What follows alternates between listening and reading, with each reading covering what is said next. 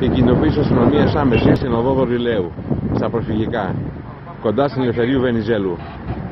Ένα άτομο βρίσκεται σε αυτό το σπίτι, 42 ετών, είναι εγκλωβισμένος μέσα και ενδέχεται να έχει και όπλο. Απειλεί να αυτοκτονήσει. Η αστυνομία έχει αποκλείσει τους δρόμους γύρω από τη Δωρηλαίου και περιμένουν να διαπραγματευτεί, έτσι ώστε να έρθει να συζητήσει μαζί του και να τον, να τον αποτρέψει από το μοιραίο. Βλέπετε εδώ την εικόνα με αστυνομικούς άντρες ομάδας Δίας και άλλους οι οποίοι έχουν έρθει στο σημείο.